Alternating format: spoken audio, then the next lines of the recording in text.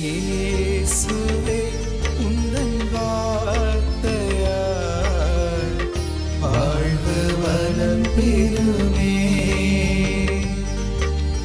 தேவனே உந்தன் பார்வையா என் உள்ளம் மலர்ந்திடுமே. இயேசுவே என்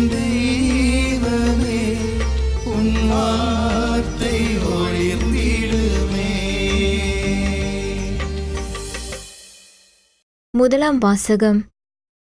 ஒசேயா நூலிலிருந்து வாசகம் அதிகாரம் இரண்டு இறை வார்த்தைகள் பதினான்கு தொடங்கி பதினாறு வரை மற்றும் பத்தொன்பது தொடங்கி இருபது வரை. ஆண்டவர் கூறுவது நான் இஸ்ரேலை நயமாக கவர்ந்தெழுப்பேன் பாலி நிலத்துக்கு அவளை கூட்டிப் போவேன் நெஞ்சுருக அவளுடன் பேசுவேன் அவளுடைய திராட்சை தோட்டங்களை அவளுக்கு திருப்பிக் கொடுப்பேன். ஆக்கூர் பள்ளத்தாக்கை நம்பிக்கையின் வாயிலாக மாற்றுவேன். அப்போது அவள் அங்கே தன் இளமையின் நாள்களிலும் எகிப்து நாட்டினின்றும் வெளியேறிய காலத்திலும் பாடியது போல பாடுவாள். அந்நாளில் என் கணவன் என என்னை அவள் அழைப்பாள். என் பாகாளே என இனிமேல் என்னிடம் சொல்ல மாட்டாள் என்கிறார் ஆண்டவர். இஸ்ரேல் முடிவில்லா காலத்திற்கும் உன்னோடு நான் மனு ஒப்பந்தம் செய்து கொள்வேன். நேர்மையிலும் நீதியிலும் பேரன்பிலும் உன்னோடு மன ஒப்பந்தம் செய்து கொள்வேன். மாறாக அன்புடன் உன்னோடு மன ஒப்பந்தம் செய்து கொள்வேன். ஆண்டவராம் என்னை நீயும் அறிந்து கொள்வாய். மேலும் அந்நாளில் நான் மறுமொழி அளிப்பேன் என்கிறார் ஆண்டவர். நான் வானத்தின் வழியாய் மறுமொழி அளிப்பேன் அது நிலத்தின் வழியாய் மறுமொழி தரும். நிலம் கோதுமை திராட்சை ரசம் எண்ணெய் வழியாய் மறுமொழி தரும். அவை இஸ்ரேல் வழியாய் மறுமொழி தரும் என்கிறார் ஆண்டவர். இது ஆண்டவரின் அருள்வாக்கு. புனித மத்திய எழுதிய நற்செய்தியிலிருந்து வாசகம். ஒன்பதாம் அதிகாரம் திருவசனங்கள் பதினெட்டு தொடங்கி இருபத்தி ஆறு முடிய அக்காலத்தில் இயேசு தம் சீடர்களுடன் பேசிக் கொண்டிருந்த பொழுது தொழுகை கூட்ட தலைவர் ஒருவர் அவரிடம் வந்து பணிந்து என் மகள் இப்பொழுதுதான் இறந்தாள். ஆயினும் நீ வந்து அவள் மீது உம் கையை வையும் அவள் உடனே உயிர் பெறுவாள் என்றார். இயேசு எழுந்து அவர் பின்னே சென்றார். இயேசுவின் சீடர்களும் அவரை பின்தொடர்ந்தனர். அப்பொழுது பன்னிரு ஆண்டுகளாய் இரத்தப்போக்கினால் வருந்திய ஒரு பெண் அவருக்கு பின்னால் வந்து அவரது மேலுடையின் ஓரத்தை தொட்டார். ஏனெனில் அப்பெண் நான் அவருடைய ஆடையை தொட்டாலே போதும் நலம் பெறுவேன் என தமக்குள் சொல்லிக்கொண்டார். கொண்டார் இயேசு அவரை திரும்பி பார்த்து மகளே துணிவோடிரு உனது நம்பிக்கை உன்னை குணமாக்கிற்று என்றார். அந்நேரத்திலிருந்தே அப்பெண் நலமடைந்திருந்தார். இயேசு அத்தலைவருடைய வீட்டிற்கு சென்றார். அங்கே குழல் ஊதுவோரையும் கூட்டத்தினரின் அமளியையும் கண்டார்.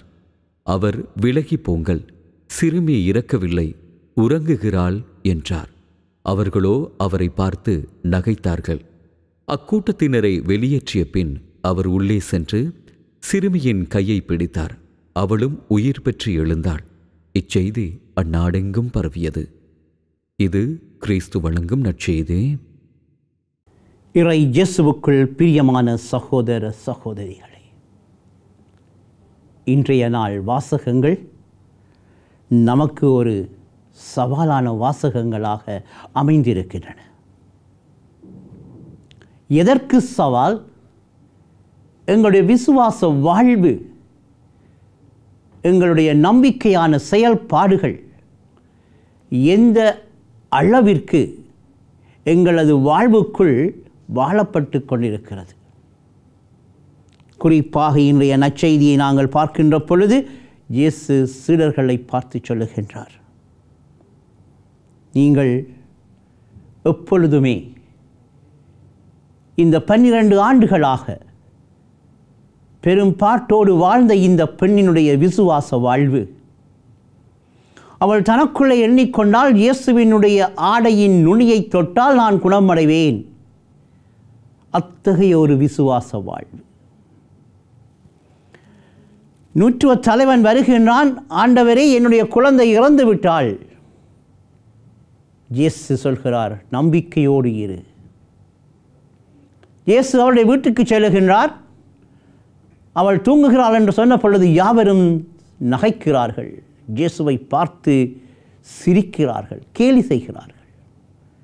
இயேசு அவர்கள் அனைவரையும் அனுப்பிவிட்டு சிறுமியை பார்த்து சொல்லுகிறார் எழுந்திரு. அவளுக்கு ஒரு புதிய வாழ்வை கொடுக்கின்றார். ஆமிரை இயேசுவுக்குள் அருமையான சகோதர சகோதரிகளே நாம் எவற்றின் மீது அதிகமாக நம்பிக்கை வைத்திருக்கிறோம்?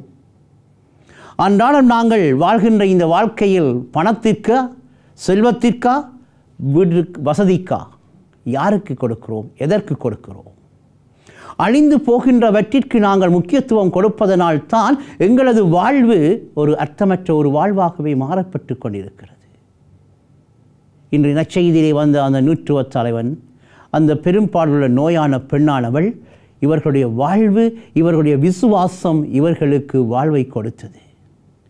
திருமுழுக்கு பெற்றிருக்கின்ற நானும் நீங்களும் இறைவன் மீது எந்த அளவிற்கு நம்பிக்கை வைத்திருக்கிறோம்?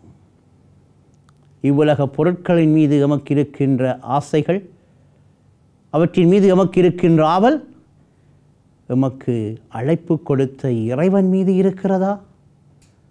எங்களையே நாங்கள் கேட்டு பார்ப்போம். இறைவன் என்னிடத்திலும் உங்களிடத்திலும் எதிர்பார்ப்பது என்ன? சிறிதளவு நம்பிக்கை எமக்கு இருக்குமே ஆனால் இயேசு ஒரு பொழுதும் எங்களை கைவிட மாட்டார். அந்த நம்பிக்கை நம்முடைய வாழ்வாக வாழப்பட வேண்டும். அதைத்தான் இயேசு இன்று என்னிடமும் உங்களிடமும் எதிர்பார்க்கின்றார்.